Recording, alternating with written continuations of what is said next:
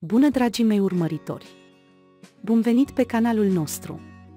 Nu uitați să vă abonați la canalul nostru, să distribuiți videoclipul nostru și să activați notificările pentru a fi primii care află despre videoclipuri noi.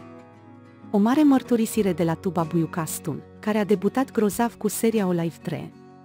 Celebra actriță Tuba Buiucastun a devenit unul dintre cele mai cunoscute nume în ultimele zile prin interpretarea din serialul de televiziune O Life 3, care a fost difuzat pe Netflix. Celebrul actor și-a întâlnit fanii într-un serial digital după o lungă pauză și a oferit o performanță de mare succes.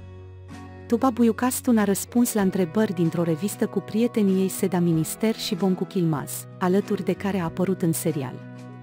Actorul a atras atenția cu declarațiile pe care le-a făcut la această întâlnire. Ai fost vreodată prins între mintea ta și inima ta? Răspunzând la întrebare, Tuba Buiucastun a recunoscut că trăiește constant această stare de spirit. Actorul a spus, întotdeauna, în mod constant. A fi femeie este ceva de genul. Tuba Buiucastun, care are fete gemene pe nume Mea și Toprac, a mai declarat că maternitatea nu este ușoară. Actrița a subliniat că nu este ușor pentru o femeie să fie mamă, chiar dacă nu lucrează. Tupa Buiucastun a spus, este mai greu să mori după ce ai un copil.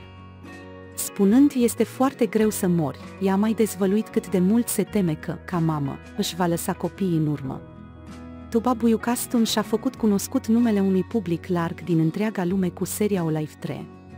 Actorul care a avut un proces de parteneriat foarte reușit cu Murat Boz în această poveste, este încă pe ordinea de zi cu acțiunile pe care fanii săi din multe țări din lume le-au împărtășit pe rețelele de socializare. Ne poți împărtăși opiniile tale valoroase în secțiunea de comentarii. Nu uitați să vă abonați și să activați notificările pentru a vedea mai multe videoclipuri. Ne vedem în alte videoclipuri. Ai grijă de tine!